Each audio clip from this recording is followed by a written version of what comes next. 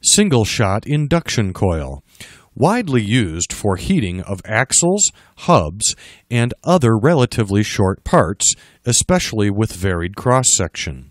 Cylindrical part must rotate. They require high power, which results in copper being heavily loaded. Concentrators are required for local temperature control and coil parameters improvement. Scan hardening using single shot inductor. Short single shot induction coils may be effectively used for scan hardening of worm shafts and other parts. Application of concentrators adjust temperature distribution on tips and root areas.